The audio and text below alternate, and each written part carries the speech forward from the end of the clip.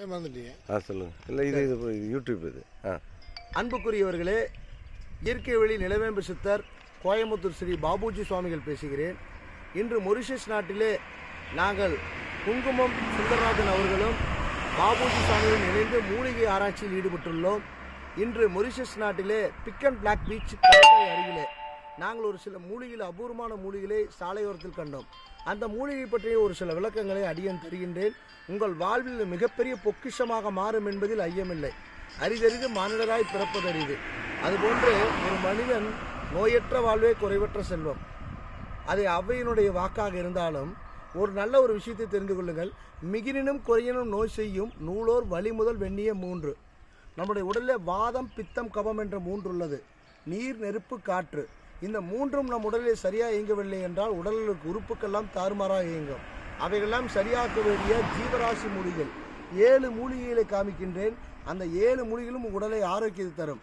ஒரு மனிதனுடைய வாழ்விலே பிறந்த குழந்தை முதற்கொண்டு அவனுக்கு முதலில் தாய் பருவத்திலே குழந்தை பருவத்திலே தான் வேண்டியது நல்ல சத்தான ஆரோக்கியம். அதற்கு தாய்மார்கள் சாப்பிட வேண்டிய மூலிகை. குழந்தை பெற்றிருக்கின்ற தாய்மார்கள் பால் சுரப்பு குறைவாக இருந்தால் உடனடியாக இந்த அற்புதமான மூலிகை எடுத்துக்கொள்ளுங்கள் அந்த மூலிகையை தான் நீங்கள் காணப்போகிறீர்கள் அதுதான் அம்மன் பச்சரிசி. இந்த மூலிகை பாருங்கள். இந்த மூலிகையின் பெயர் அம்மன் பச்சரிசி. இந்த மொரிஷியஸ் நாட்டிலே நாங்கள் காண்கின்ற அம்மன் பச்சரிசி சிகப்பு அம்மன் பச்சரிசி என்று சொல்லப்படுகிறது. நம்ம இந்தியாவில் வந்து பச்சை அம்மன் பச்சரிசி நிறையா இருக்கும். பச்சை இந்த பா இந்த செடியில் பார்த்தீங்கன்னா அரிசி மாதிரியே சின்ன சின்ன விதைகள் இருக்கும். ரெண்டாவது இந்த செடியில் பார்த்தீங்கன்னா இப்படி எடுத்துக்கிட்டா போதும். இந்த செடியில் இருக்க பிடுங்கும்போது சிவ சிவ சிவா அப்படின்னு சொல்லிட்டு பிடுங்கணும். பாருங்க பால். வேண்டிய இலக்கு பால் இருக்குதா? சிவசிவா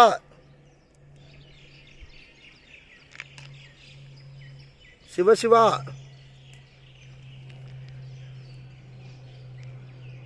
ஓகே. எவ்வளோ பால் வருகிறது வருகிறீர்களா இந்த பால் வந்து மிகவும் சக்தியான பால். இந்த அம்மன் பச்சரிசி தறி மிகவும் சக்தி வாய்ந்தது. இதை சாப்பிடுவதனால் நம் உடலில் தாய்மார்களுக்கு பசும்பால் போல நம்மளுடைய சத்தான பாலாக நம்ம உடலில் பால் சுரப்பு அதிகமாகும். ஒவ்வொருத்தரும் சிறப்பான பால் பெறுவதற்கு தாய்மார்கள் சாப்பிடலாம். அது மட்டும் இல்லாமல் நமக்கு ஆறாத புண் எப்படி சாப்பிடுவது? இந்த பாலை இந்த செடியை பறித்து பொரியல் செய்து சின்ன வெங்காயம் சிறிய வெங்காயம் குருமிளகு வெட்டும் போட்டு சாப்பிடணும். வேற எதுவும் போடக்கூடாது. தேங்காய் போடக்கூடாது. சிறிய வெங்காயம் குருமிளகு. இதை மட்டும் போட்டு வணக்கி சாப்பிட்டோம் ரொம்ப விசேஷம். பச்சையாக சாப்பிடக்கூடாது. பச்சையாக சாப்பிட்டா வயிறு கட்டிக்கும். அதனால் சாப்பிடக்கூடாது. இது வந்து பச்சையாக சாப்பிட்டோம்னா மலச்சிக்கல் வந்துடும் ஆனால் பச்சையாக சாப்பிடக்கூடாது. இப்படி தான் சாப்பிடணும். இதுதான் முறை. இதை சாப்பிட்டா வந்து இதை வந்து இந்த பாலுடைய புண்ணு இருக்கு பார்த்தீங்களா இந்த சக்கரை வியாதிக்காரங்க இருக்கா வந்து ஆறாத புண்ணு இருக்கு பார்த்தீங்களா அதுக்கு இந்த எடுத்து இப்படி வச்சாங்கன்னா உடனே புண்ணு பூரா ஆறிடும் இது எல்லா இடத்துலையும் பரவலாக இருக்கும். கிடச்சி தொலை ப- பிடிச்சிக்கலாம். உலகத்தில் எல்லா பகுதியிலும் கிடைக்கக்கூடிய அற்புதமான மூலிகை தான் இந்த மூலிகை. ஓகே அடுத்து வந்து போதுமில்லைங்க.